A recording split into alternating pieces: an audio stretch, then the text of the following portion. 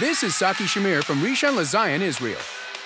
And he has a very, very tiny cannon.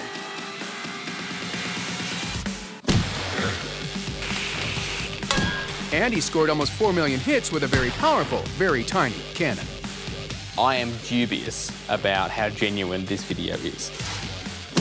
So, is it real? Time to ask our scientists.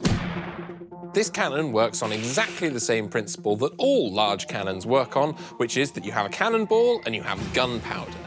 When gunpowder burns, it produces a lot of gases, and all of these gases are trapped behind the cannonball and want to expand. And expand they do.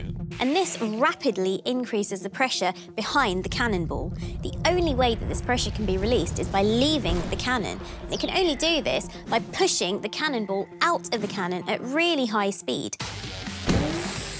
That ball ended up travelling at 2,000 kilometres per hour, or 1,200 miles per hour.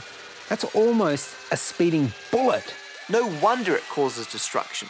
If you were firing a handgun, you wouldn't be surprised to see those results. Why should it be any different coming out of a tiny cannon? So it's just as real as a small handgun. And it proves one thing. It's not the size of the cannon that's important. It's how powerful it is.